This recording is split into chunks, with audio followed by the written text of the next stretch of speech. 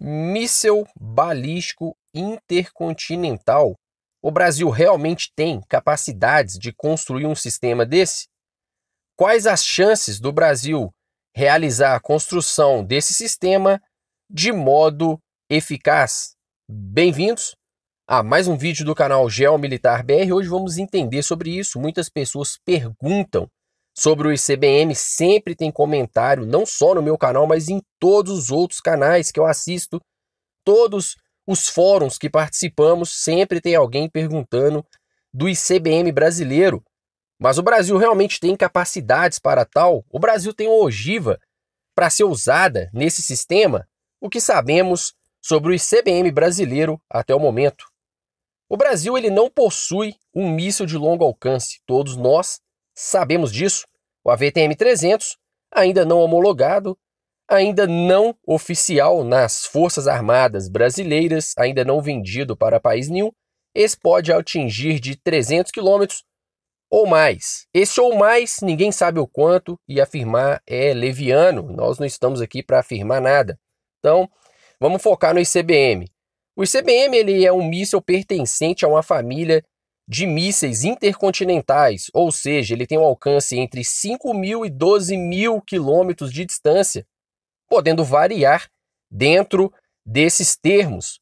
É um míssil gigantesco lançado de uma plataforma gigantesca, custa bilhões de dólares a sua produção e cada unidade ainda mais, podendo carregar de uma ogiva nuclear ou múltiplas ogivas nucleares táticas ou mesmo ogivas diferenciáveis, como a própria ogiva cluster, como a própria Rússia já contou sobre isso que possui um ICBM com vários mísseis, submísseis dentro dele, podendo ali destruir uma área gigantesca, além também de ter um ICBM com ogivas termobáricas, também é algo utilizável em um míssil desse. Mas o Brasil, ele possui a tal capacidade de realizar um lançamento balístico, a capacidade de lançar um sistema balístico, tecnicamente o Brasil tem, pois ele possui foguetes com essa qualidade, que sobem reto, realizando a parábola,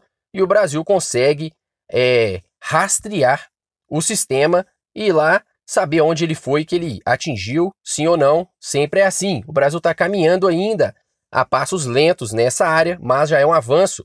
E sobre motores, temos motores? Sim, temos motores. Alguns motores da Avibras, como o S50, é um dos vetores que pode servir ao ICBM brasileiro. Então, por que o Brasil não cria o ICBM? É simples, o Brasil não possui um ogiva de qualidade para o ICBM no momento. O Brasil também não possui uma capacidade de lançamento a longo alcance e o Brasil principal não possui a capacidade de verba. O Brasil não tem orçamento militar para produzir um ICBM, isso custa muito caro. Nós sabemos que não adianta enganar, não adianta olhar é, de forma errônea sobre o assunto.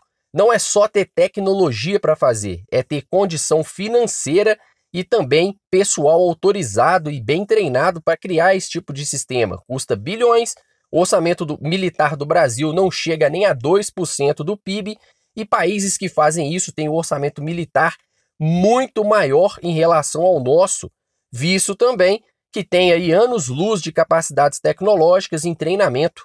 Então, no mínimo, nos próximos 20 anos, o Brasil teria grandes dificuldades financeiras para fazer um ICBM. Eu estou falando de míssil balístico intercontinental.